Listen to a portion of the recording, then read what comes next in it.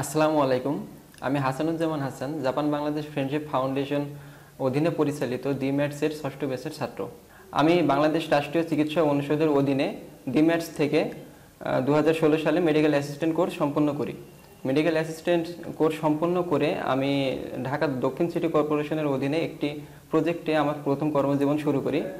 যেহেতু আমার জবটা প্রজেক্ট ভিত্তিক ছিল, যখন আমি হতাশ হয়ে পড়ি তখন আমার শ্রদ্ধেয় শিক্ষক ডক্টর আশিকুর রহমান স্যারের কাছে জানতে পারি, জাপানি ভাষা শিখে জাপানে স্মার্ট ক্যারিয়ার গড়ার সুযোগ রয়েছে।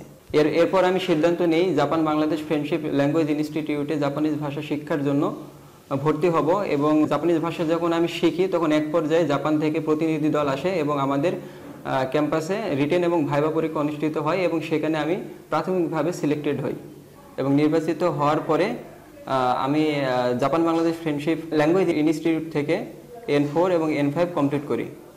জাপানিজ ভাষা কমপ্লিট করার পরে আমি আমার সকল ডকুমেন্টস সাবমিট করি এবং সাবমিট করার পরে জাপান সরকার আমাকে সার্টিফিকেট অফ এলিজিবিলিটি প্রদান করে।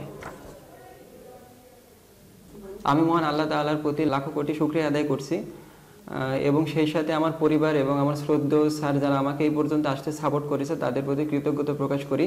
তারা না থাকলে কখনোই আমি এখানে আসতে পারতাম না। আমার জন্য সকলে দোয়া করবেন।